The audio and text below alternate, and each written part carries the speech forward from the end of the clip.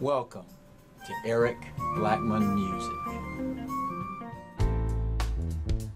These days, because car keys contain chips and must be programmed, an extra car key can cost anywhere from 95 to $250 depending on the car. Well, I just bought a guitar with the original hard shell case for a lot less.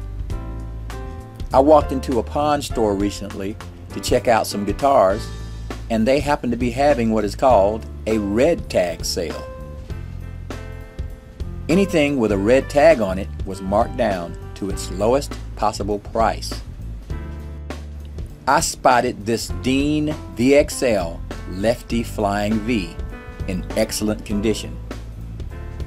Not only did it come with a matching Dean case, but also included a very nice leather strap. The price? A whopping $75. I'm not left handed, but there was no way I was walking out of that store without this guitar. Thanks for watching My Guitars.